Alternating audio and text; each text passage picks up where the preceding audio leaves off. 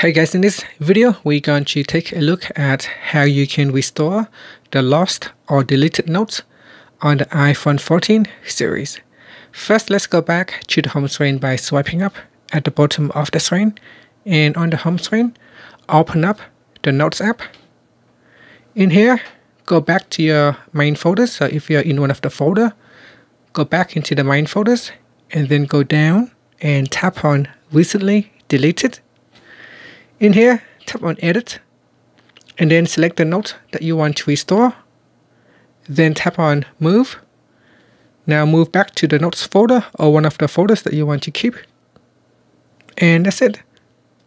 So that is how you can restore your deleted notes on the iPhone 14 series. And after that, you can swipe up to go back to the home screen. Thank you for watching this video. Please subscribe to my channel for more videos.